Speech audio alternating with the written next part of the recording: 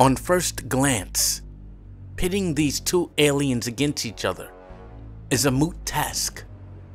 For starters, the xenomorph has a much more vibrant history and violent reputation than Calvin. Alien has haunted our nightmares for decades. A creature that sexually violates its host by orally inserting an egg, gestating that egg inside of your chest cavity, and then having it burst out of you. The xenomorph is a serial rapist, a parasite at the very least, all at the behest of the Queen Mother, who has been known to grow 15 feet high. You can't kill it because it has acid for blood. It has no motivation except to replicate and kill. It has superhuman strength, a large mouth with a mandible mouth for a tongue. It also has a tail that can decapitate you. Not to mention that its black goo DNA is highly corruptible and toxic. This thing was bred for killing. Because of its reproduction and replication properties, put it against any movie common day lore monster, and the xenomorph is bound to win. But what if I told you that there is an organism that in all that we know about it and about both species, that the xenomorph does not stand a chance of winning? Enter Calvin an organism discovered on Mars by the human race that had the same accelerated life cycle as the xenomorph. Just as the black goo accelerant became active on contact with humans, so was the single-celled organism Calvin. On adapting to environmental conditions, rapidly generated cells except that these cells were no ordinary cells. These cells were composed of mostly muscles and nerves, giving it extraordinary bone crunching strength at its initial stage. These cells generating an advanced intelligence neural network. In other words, its mass only consists of muscle and brain. Immediately in its infantile stage, outwitting the greatest scientists and engineers on the ship and of Earth. Calvin is fireproof.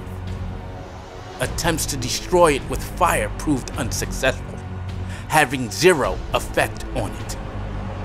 At its first stage, Calvin could withstand a blue flame torch of 3,632 degrees Fahrenheit while on the other hand, the xenomorph fears fire.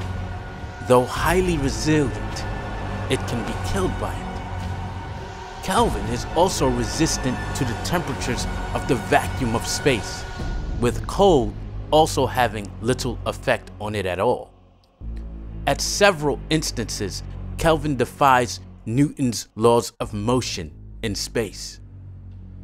From this observation, one can assume that hydrochloric acid would not damage the super tough exterior of the Martian. The xenomorph is susceptible to both climates in extreme settings.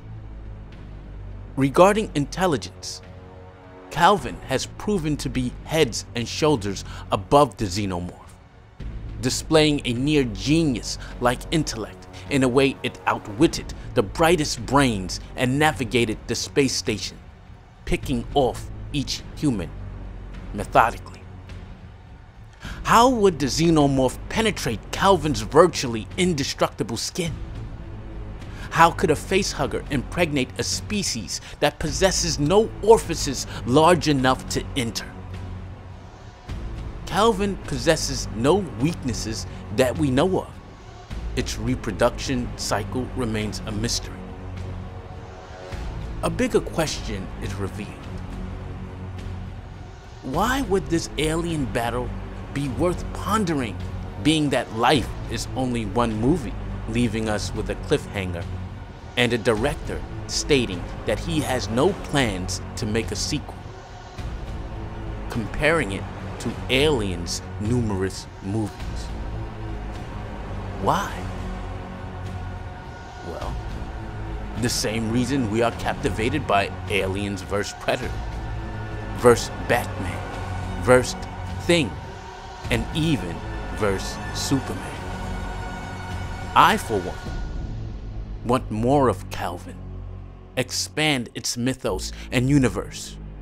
More destruction, more carnage, and more terror. An immovable object versus an unstoppable force. Maybe Calvin is not the creature that stalks you in your nightmares, leaving you in a sweat and forcing you to sleep with the lights on. For this, the xenomorph wins. We may never know. Let the battle begin.